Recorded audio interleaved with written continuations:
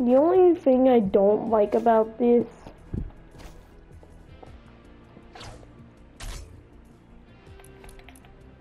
how the fact that this happens. It just there's a default or like unusual style. It has like no wrap applied. It just looks bleh. Just don't like that.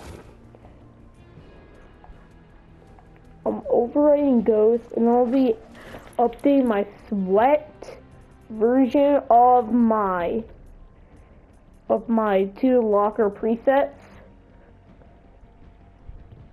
Since like the only skins I really use most of the time are these. Anyway, bye!